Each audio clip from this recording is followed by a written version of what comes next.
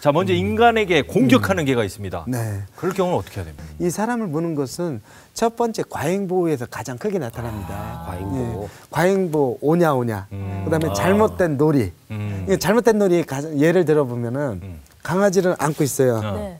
누가 와서 툭 건드려. 어. 걔가 왕 하고 짖었어. 어. 주인이라 주인이라면 어떠세요? 기분 나쁘죠? 좋아요.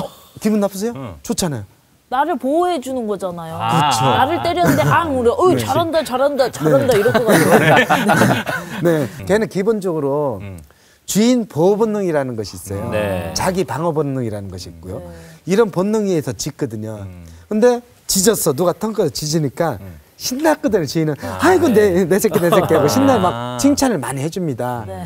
그러면 칭찬보다 더 중요한 것이 그만 했을 때 통제를 했을 때 짖지 않아야 되는데 음. 이 좋은 것만 심어준 거죠. 그렇다 보니까 누가 오면은 으르렁 네. 음. 어. 또 아빠가 들어가면 으르렁.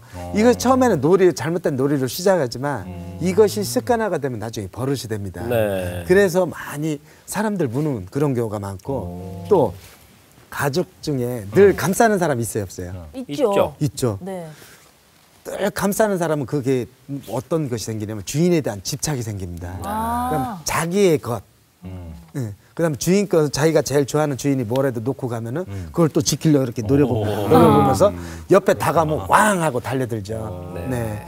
이럴 때 잘못된 행동을 하게 되면은 안 돼. 또는 옳지. 정확한 명령어를 정해 주시는 것이 제일 좋습니다. 네. 나는 통제를 해야 됩니다. 옆에 기다려. 통제를 정확하게 해주고 난 다음에 짖지 않았을 때 보상을 해주는 거거든요. 보통 잘 모르시는 분들이 그래요. 주인을 물거나 달려들면은 네. 쟤는 개패드 패야 돼.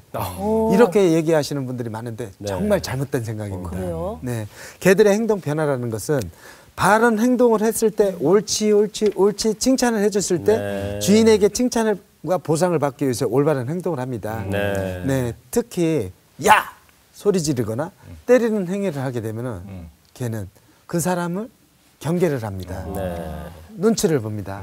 눈치를 보면 어떻게 돼요?